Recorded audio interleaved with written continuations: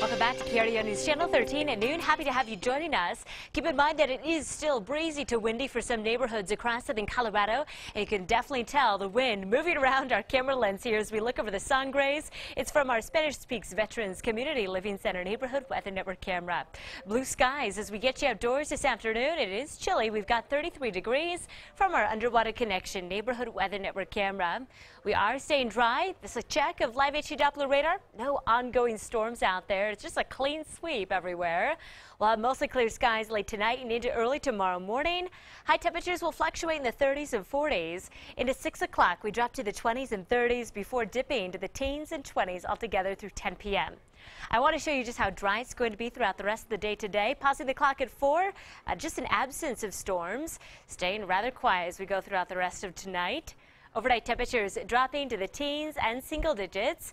Keep in mind that as we go throughout the rest of the day today into the overnight hours, wind speeds will start to die down as an upper level system continues to move off toward the east. So it's the same system that was impacting us yesterday and it's still causing us a couple of issues. Wind speeds, though, aren't quite as strong as what we saw yesterday. 15 overnight tonight for Colorado Springs and Cañon City. La Junta at 15 as well. 13 below for Gunnison. 9 below zero in Alamosa.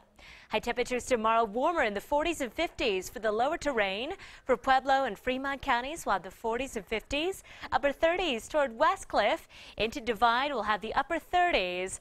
40s toward Falcon, Peyton, and Calhan. Seven day forecast shows that we're going to be warming up all the way into the middle of the work week. We'll have breezy conditions from time to time over the next couple of days with partly to mostly sunny skies.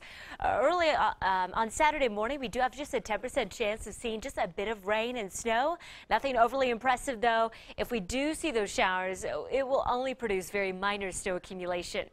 New Year's Day looking all right at this point in time with a high temperature of 43 degrees. We really pulled back our temperatures on Monday, and again, we added a slight chance for rain and snow.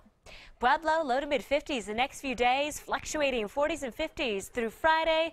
We're staying dry in the Steel City all the way through next Monday, but keep in mind that the extended forecast is still very fluid and we still have several days for things to change. We'll keep you posted on the latest developments, of course.